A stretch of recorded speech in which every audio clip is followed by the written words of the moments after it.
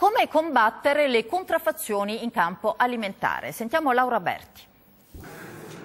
Lotta sempre più serrata alla contraffazione e alle frodi nel settore agroalimentare in Italia che ha chiuso il 2011 con quasi 80.000 controlli, oltre 40 milioni di euro di prodotti sequestrati, 8.700 sanzioni amministrative elevate a 1.300 persone segnalate all'autorità giudiziaria.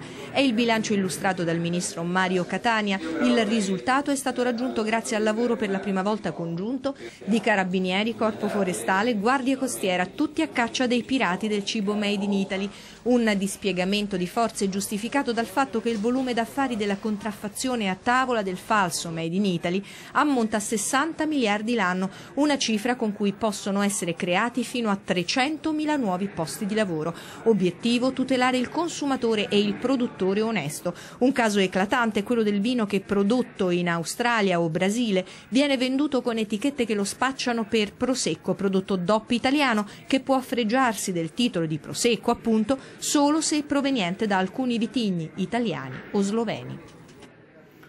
Domani